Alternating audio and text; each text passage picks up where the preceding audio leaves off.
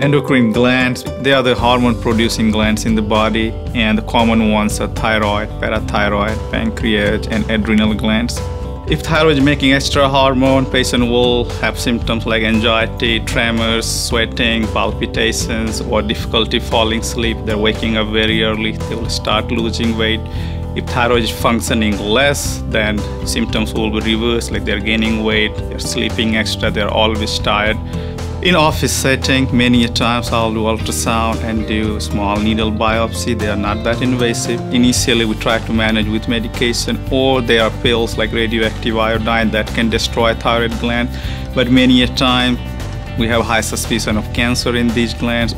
Once I decide or in discussion with patient that these I mean, next step should be surgical removal of these tumors or uh, these glands then yes, I do operative procedure to remove these glands and that becomes an invasive procedure. With increasing awareness about endocrine glands and problems related to thyroid, adrenal, parathyroid, more and more patients are coming to their primary care physicians with these symptoms. Having an endocrine surgeon in that area helps primary care physician to refer these patients to me and they don't have to travel outside the state to get this type of care.